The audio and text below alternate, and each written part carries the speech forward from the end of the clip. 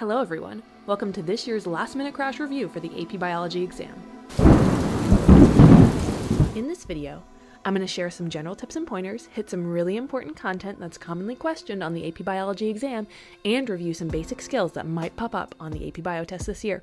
Remember, this is a fast review. I do talk fast, and it's definitely not meant as introductory content, so if you need to go back and do a deeper dive into any of these topics, make sure to dig into some of my other videos and resources, or look at some of the materials provided by your teacher. Remember that AP Biology is a trademark owned by the College Board, which is not affiliated with and does not endorse this video. Let's talk about the format real quick. The test is three hours long. It is is in two parts. Part one and part two, they are both 90 minutes. Part one is multiple choice questions. There are 60 of them. Part two is six questions. Those are the free response questions. Both sections are weighted equally, so 50% of your grade comes from part one and 50% of your grade comes from part two. Remember, there are two long and four short biology FRQs, each testing different sets of science practices and skills. And the multiple choice questions can come individually or as sets with a stimulus. So we might have a graph or a data set or some experiment, and we're asked four or five questions after reading that information. Be sure you budget your time wisely and read all the information that the exam provides for you. On the day of the exam, you should bring two pens, blue or black ink, two number two pencils, and a calculator. College Board has a list of the approved ones. It's pretty much any calculator as long as it doesn't connect to the internet. You will be provided with a formula sheet from the College Board and then some extra paper if you need it to continue writing your free responses. If you don't go to the school where you're taking the exam, make sure you bring a school ID or a government ID like a driver's license so people can identify you on the day of the test. Do not bring cell phones or smartwatches or tablets or cameras. They will either be confiscated or you will be removed from the testing area. On the free response questions, be prepared for two long questions and four short ones. The two long ones are more points, but all of them are important to try to answer. I'll go through some other tips throughout this video, but one of the most important ones a lot of teachers say is ATP for answer the prompt. So make sure you answer what the question is asking, no less, no more. As far as the topics that are going to show up on the AP Biology exam, here they are and their percentage breakdowns. They're all treated with about similar weights on the exam, but natural selection does show a little bit more than some of the other units, so make sure that you review topics related to natural selection and evolution as much as you can. Now let's cover some content or themes that are frequently going to show up on the exam, and these are going to come up in no particular order, so oh, be aware that this is not the order in which you might have learned this content, but interleaving these topics is better for studying, so here we go. Let's start with the basic unit of life itself. Cells, all cells are surrounded by a cell membrane, a phospholipid bilayer, they all contain genetic information, mostly DNA, and they all contains cytoplasm. All living things have a genome, and a genome is the entire set of genetic material or all the biological instructions for one organism. Remember that different units that code for different proteins in DNA are called genes. Remember that genes code for specific proteins, which give cells and organisms their traits, but different parts of the genetic instructions are used in different types of cells, so not every cell in a multicellular organism expresses the exact same DNA. So, for example, we have neurons and skin cells and red blood cells, and they're all going to look a little bit different from each other because they have expressed different sections of the DNA. Hopefully, you remember a little bit about protein synthesis, where the enzyme RNA polymerase is going to synthesize mRNA molecules in the 5 to 3 prime direction by reading the template DNA strand in the 3 to 5 prime direction. So we have our RNA polymerase synthesizing that molecule, the mRNA leaving the nucleus, and then undergoing certain modifications, which we'll get into a little bit later. And then in the cytosol at the ribosome, we have our tRNA bringing around our amino acids, and it recognizes each codon with an anticodon on the tRNA, and that amino acid chain is built from the mRNA transcript. In prokaryotic organisms, this happens all at once. Transcription is coupled to translation, but in eukaryotic organisms, we have this occurring in our different locations. Once we have our amino acid sequence, we can undergo even more protein modifications to get the final functional protein. Now, again, there's lots of regulation of genes and transcription and translation. Some types of gene regulation in prokaryotic organisms include operons. Let's start with inducible In its usual state, we do not have transcription happening. That's mostly because we have a repressor here that's bound to a section called the operator in this operon. Now, the purpose of these genes, LAC-Z, LAC-Y, and LAC-A, is to provide instructions for the cell to build parts of proteins to digest lactose. If there's no lactose in the cell, these genes don't need to be turned on because we don't need any enzyme to digest lactose. But when lactose does show up, a version of it, allolactose, can bind to the repressor, removing it from the operator. This allows RNA polymerase to move down the operon and transcription can occur. Once transcription occurs, we have the LAC mRNA, which can then later be transcribed into a protein that can digest the lactose. Once that lactose is all gone, it no longer binds to the repressor, which means it's back on the operator and we cannot have transcription any longer. Now, there are many levels of gene expression and regulation in eukaryotic organisms, and there's many points at which the transcripts can be changed or modified along the way to becoming active proteins. There's even pre-transcriptional regulation that can occur. A big one to know is part of RNA processing where we have introns and exons. Our non coding sequences are introns, and then those are later removed so that we only have exons in our final mRNA transcript. With alternative splicing, we can get multiple versions of mRNA from the same original gene. Be sure you know the basics of what PCR is, gel electrophoresis is, DNA sequencing, and then bacterial transformation. You won't have to detail step by step how these occur or the laboratory procedures for these, but you should know the purpose. For example, PCR is the amplification of DNA to make lots and lots of copies from a small bit. Gel electrophoresis is the separation of our DNA molecules based on size so that we can see any patterns after they're cut with restriction enzymes. This is useful for evolutionary analysis, as a step in genetic transformation, or for forensics and crime scene analysis. Bacterial transformation or genetic transformation involves the removal of a gene of interest from a particular organism, inserting it into a plasmid so that our gene of interest can then be taken up by our organism that will later go and express that gene as a protein. Make sure you know the four main categories of biological macromolecules nucleic acids, proteins, carbohydrates, and lipids. Know their monomers, the structure of their monomers. So, nucleic acids are made of nucleotides.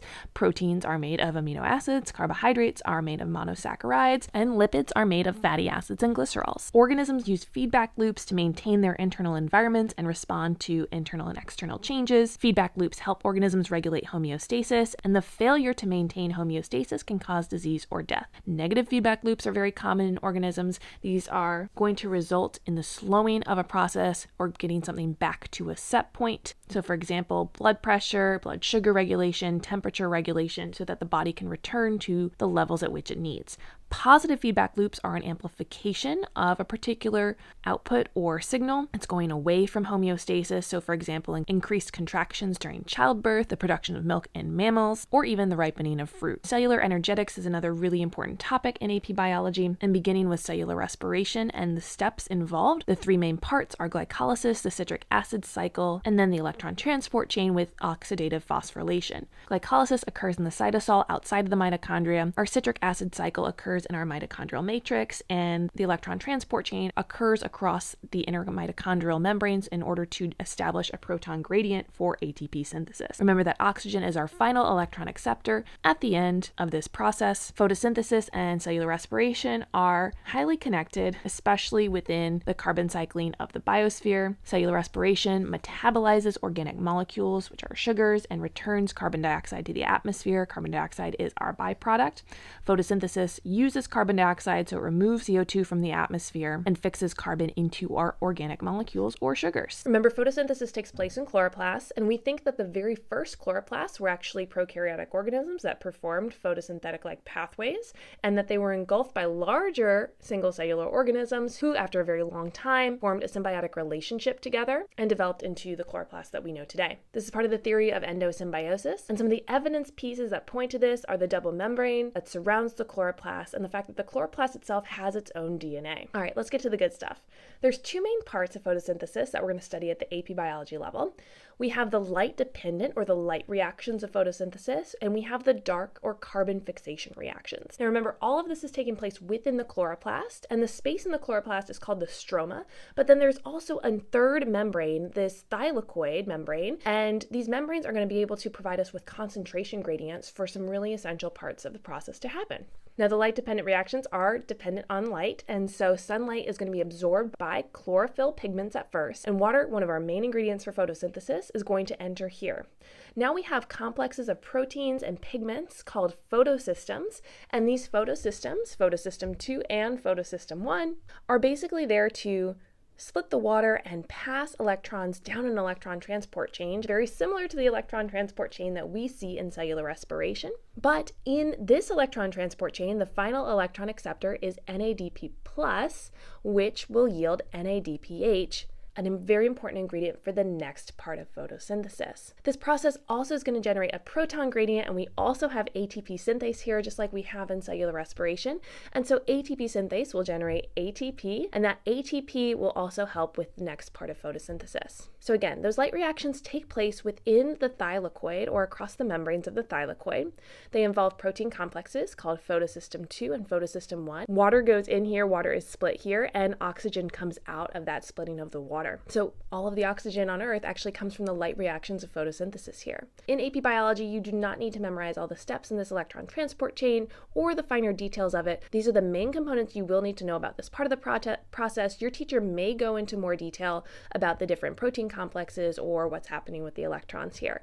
But it's really important to know that at the end of the light dependent reactions, we have ATP and NADPH to power the dark reactions or the carbon fixation reactions that happen outside the thylakoid in the stroma of the chloroplast. These reactions are part of a cycle called the Calvin cycle, and in the Calvin cycle, carbon dioxide enters, and eventually, with the help of ATP and NADPH, sugars are produced. In AP biology, you do not need to memorize the steps of the Calvin cycle, but you do need to know what goes in and what comes out of it. Now, these sugars are not going to be glucose immediately after the Calvin cycle. In fact, it takes a couple more turns of the Calvin cycle and a few more steps to get to glucose, but you can say sugars or organic compounds are generated here. These sugars do contain carbon, which comes directly from carbon dioxide that enters the carbon cycle. Some common topics and themes that show up related to molecules and molecular biology. Enzymes at high temperatures will unfold or denature or lose their shape and lose then their function. So remember, an increase in temperature above the optimum range for the enzyme can definitely alter the shape of the active site and reduce a reaction rate. Water has a lot of very special properties, such as high heat of vaporization, the fact that it's polar, surface tension, just to name a few. This can relate back to a lot of reactions and processes within our bodies bodies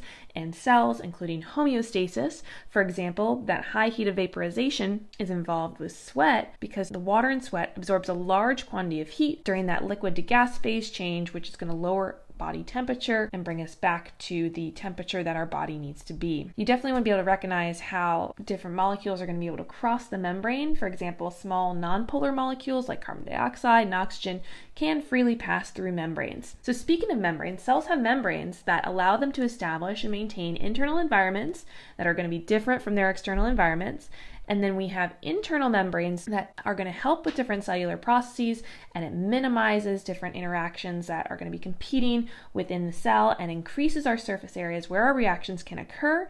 And we can also use this as evidence for the endosymbiosis hypothesis. But all of these themes are important when we talk about organelles. Now, these are the organelles that you really should be able to know, recognize, and understand how their functions work for AP biology. There's a lot of other organelles out there and some major ones that are not on this list, but not on the exam. These are the ones that might show up and you might be tested on. Out of this list, the most important ones you really need to know and recognize are cell membranes, mitochondria, and chloroplasts. When we're talking about cell membranes, remember these are very complex. They go beyond just a phospholipid bilayer.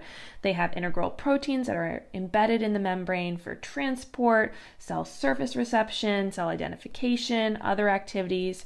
They also have carbohydrates and cholesterols in the membrane, so be able to recognize how membranes are going to contribute to cell structure, function, communication, a lot of other themes and processes. Mitochondria and chloroplasts, of course, are going to show up when we talk about cellular energetics. We already talked about mitochondria and chloroplasts a little bit with endosymbiosis, but make sure you're very familiar with them, their role, and their structure for both cellular respiration and photosynthesis. All right, going back to cell membranes a little bit more, be able to recognize the phospholipid structure, how we have a polar group of the molecule, it's here in red, and then our little squiggly hydrophobic tails that are going to form the internal part or the middle of our phospholipid bilayer. A lot of students really get worried about cell signaling pathways. These are not that complicated, but do remember cell signaling pathways are characterized by a signal, a transduction, and a response. That signal could be something generated by a unicellular organism or could be part of multicellular signaling pathways. Signaling pathways are highly specific and regulated, and one single signaling molecule can cause a cascade effect, releasing thousands of molecules in a cell. And these pathways we know probably evolved from a common ancestor millions of years ago. We can even look at similar molecules in pathways in different species and use this as evidence to investigate different species and how they might have evolved from a common ancestor that used very similar signaling molecules. Now, the result of a signal transduction pathway could be something like gene expression or the production of a hormone or suppression of a genetic activity or even apoptosis, which is programmed cell death. Jumping back to more molecular structure, DNA, make sure you're very familiar with the structure of, of the nucleotide itself, and then, of course, the full DNA molecule. Remember that the structure of DNA is very specific. DNA is a larger molecule made of nucleotides. One nucleotide includes a phosphate group, a sugar, deoxyribose for DNA, and our nitrogenous base. So one nucleotide here would be comprised of these three sections. In the center of the DNA molecule, the nucleotides are attached by hydrogen bonds. A and T are attached with two hydrogen bonds, G and C have three. And then the backbones are also attached in covalent bonds. And to contrast it, RNA is single sided. It does have structural similarities to DNA. It still has a sugar, a phosphate group, our nitrogenous base, but RNA has uracil, DNA has thymine, DNA obviously is double stranded, and DNA usually is just staying put in the nucleus in eukaryotic organisms, whereas RNA is going to leave the nucleus to perform the other steps of protein synthesis. Another hot topic is the cell cycle and checkpoints. There's a number of internal controls or checkpoints that are going to regulate progression through the cell cycle. You don't need to know specific cyclin dependent kinase pairs or specific growth factors, but do know that if something is wrong or if there is an error detected within the cell cycle, Typically, the cell will commit apoptosis, again, programmed cell death, but errors in that cycle or errors in recognizing those steps could also lead to uncontrolled cell growth, disease like cancer, or we have uncontrolled cell division or unregulated cell division. Now, speaking of cell division and reproduction, mitosis is going to produce two genetically identical daughter cells. Make sure you review different types of reproduction Meiosis is going to produce cells with half the normal amount of genetic material, generally going from diploid to haploid cells and these are gametes or sex cells. There's a lot of different steps that contribute to genetic diversity. First of all, we have independent assortment, where we have a lot of different possibilities of orientations of how the chromosomes could line up. There's random fertilization, which again happens after, but we need to be able to create these haploids to be fertilized beforehand. And then during crossing over, we can have a bunch of different combinations of information. Familiarize yourself with errors or consequences if some steps in the process of meiosis go wrong. Make sure to review cell transport situations, well, water moved by osmosis from areas of high water potential to areas of low water potential. This is probably going to be recognizing where water would move within a certain situation is probably more likely to show up on the exam than an actual water potential problem. As far as genetics goes, inheritance patterns that might show up include single gene or monohybrid inheritance. Dihybrid inheritance is a possibility as well, where we're tracking two genes sex linked inheritance, where we have a trait. Generally, it's going to be an X linked, sex linked trait that we're tracking. Remember, males only need one copy of those in order to display the trait, females need two if it's recessive. We can talk about genetically linked inheritance. These are when two genes are close together on chromosomes, so typically they're inherited together. And then inheritance of things like traits in mitochondrial DNA. Remember, your mitochondria is going to come from the egg or the ovum, and so that is going to be inherited from the mother. As far as the ecology and the environment, there's a lot of related topics that could show up on the exams. A very common one is environmental impacts on molecular functions or environmental impacts on gene expression. So, recognize how certain genes can be turned on or off or have extra expression due to certain environmental factors. Environmental pressures can also strongly influence natural selection, so make sure you connect those ideas. And then, of course, population interactions like symbiotic relationships, predation, and lots of community ecology topics could show up here and there. We know that organisms have different strategies for regulating body temperature, so a type of homeostasis. Uh, two main ones are endotherms and ectotherms, where endotherms use their metabolism, so thermal energy from their metabolism, to generate the warmth that helps them maintain homeostasis to the temperature that they need to be. Ectotherms, though, are dependent on the environment, so they can regulate their temperatures through behaviors like moving into the sun or moving into the shade, right? Like lizards here sitting on a rock, which can help them regulate their internal body temperatures. Now, when we talk about energy availability, typically smaller organisms have higher metabolic rates, they have higher energy needs. So, something like a fly or a small rodent is going to have a higher metabolic rate than a larger organism like a cow, for example. And in general, obviously, organisms consume other organisms to gain energy, and a net gain of energy is going to result in growth for the organism and storage of energy and overall survival. A net loss of energy, we get a loss of mass of the organism, and then later death for the organism. This is a typical trophic or energy pyramid that you might see in a diagram for AP biology. There's different types of pyramids too, like pyramids of biomass and pyramids of numbers. But here, what we're looking at are these different trophic levels or levels that that organisms feed at. And we want to keep in mind that at every level, we have a significant amount of energy lost. So it is inefficient. We have about a 90% energy lost every single time we go up a trophic level. So now, in general, remember the theme that the more biodiversity within a community or within an ecosystem, the more resistant the community is to environmental change, and we have a healthier ecosystem. So if there were a particular change in the environment, there'd be fewer organisms that would be able to res- resist or survive those changes, and likely we would see decreasing populations across the board. We often talk about core features that are conserved across all domains of life, and currently scientists organize life into three main domains bacteria, archaea, and eukaryota. You're probably most familiar with the eukaryotic organisms, which are then further organized into kingdoms. Now, when we establish these groups or relationships between different organisms, uh, we can organize them in different ways. One way to display how organisms are related is through a diagram called a phylogenetic tree or a cladogram. And these can be drawn in many different ways, but it's a model that helps us visualize relationships between organisms and we can see different branching lines and different directions for how groups have evolved or how they're related.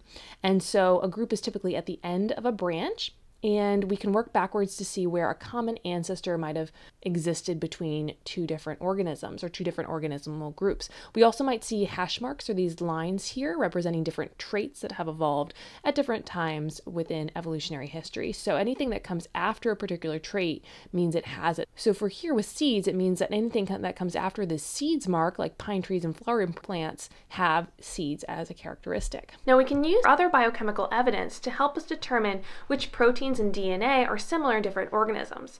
This helps us construct our tree of life and gathers more evidence for evolution, helps us figure out how different organisms are related to each other. We can also use embryonic development, fossil evidence, or morphology or different physical characteristics to determine which organisms might be related and where they came from. We know that Earth's present day species developed from earlier distinct species. When we get new combinations of existing genes or mutations in genes, and these are inherited, they can be passed on to offspring and we can see variations in populations. Over time, organisms that are better adapted to their environment are more likely to survive and reproduce and pass on their genes to the next generation. For example, if we have a population of bacteria and some of those bacteria are naturally resistant to antibiotics, when we treat that population with antibiotics, only the ones with the resistance will survive.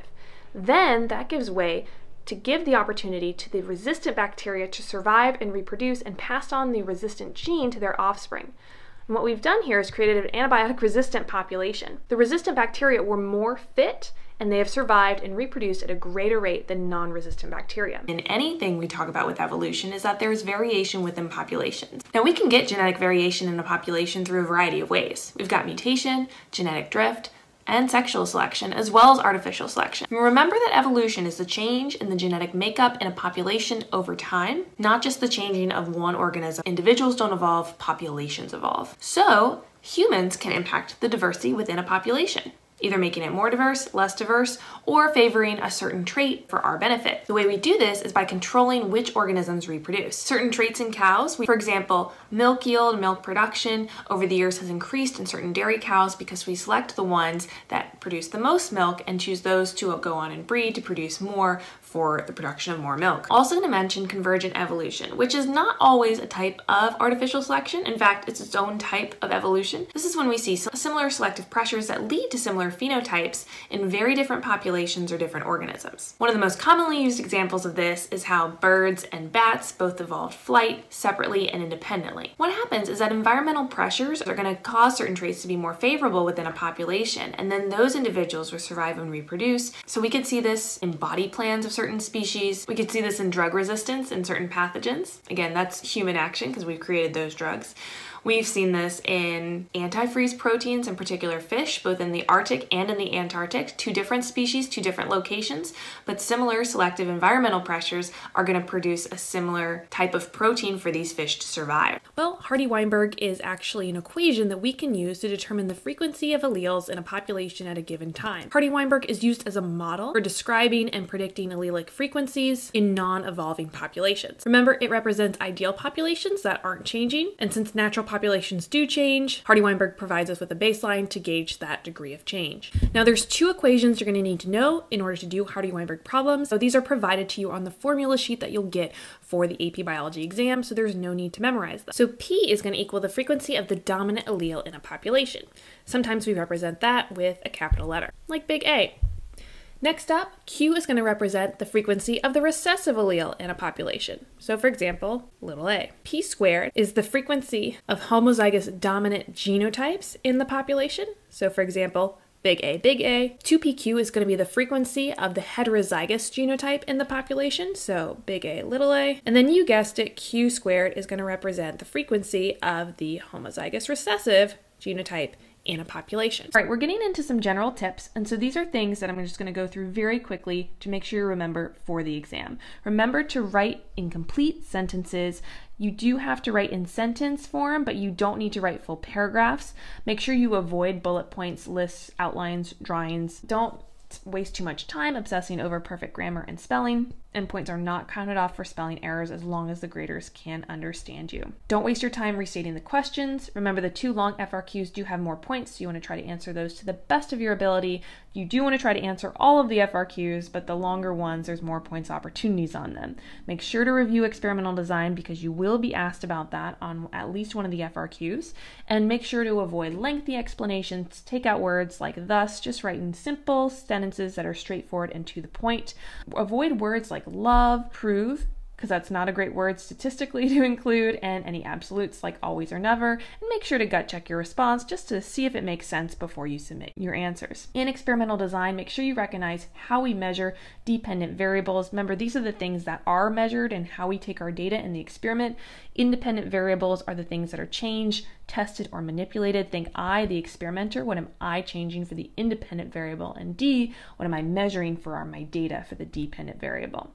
When it's asking you to make a prediction, make sure you state something specific. Don't just say, I think this variable will change, or I think there will be a difference. You do want to make sure that you include whether it's an increase, a decrease, death, growth, whatever. But you don't need to include your justification unless it asks you to justify, which it probably will on a particular step of the FRQ. But answer what the question is asking. Don't do more, don't do less. Now, you will have to create some sort of graph on the AP Biology exam. Make sure you choose the most appropriate graph to explain your data. I do have a whole video on that if you'd like to check it out. Line graphs usually show a change over time. Bar graphs usually display the comparison of different categories. You might have to draw a scatter plot as well. It is unlikely you would have to create a pie chart for the AP Bio exam. More than likely, you'll probably have to create a line or a bar graph. Just make sure you choose the appropriate one for the exam. Be sure you're familiar with your place values. This is just a slide to remember which ones are which because sometimes if you're calculating something, you may be asked to round to a specific place value. For example, round your answer to the nearest hundredths place. You will not be asked to use significant figures, so don't worry about that on the exam. Make sure to review error bars and know how to determine if there's an overlap between the bars of two or more sample means. Remember, if error bars are not overlapping, there is a statistically significant difference between the values, which means our experimenters can consider the measured values as not the same.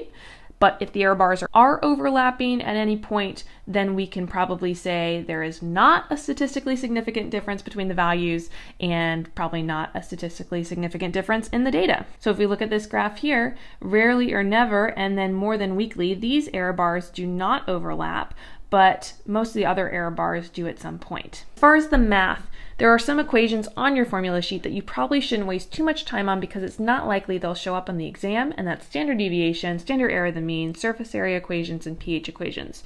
They are on the formula sheet, but it's not likely you'll see them on the test.